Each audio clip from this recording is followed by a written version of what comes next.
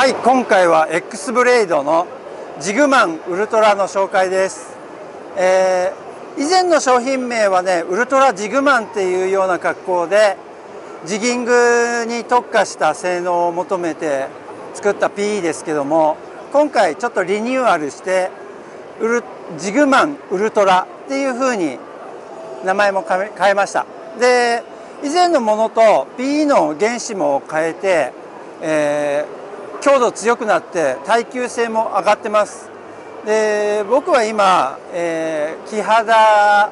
とかクロマグロそういったものにこれも使ってます、えー、すごく強い。で耐久性もあるので大型のクロマグロとかと対峙する時も余裕を持って、えー、ファイトできます。これ新製品おすすめです。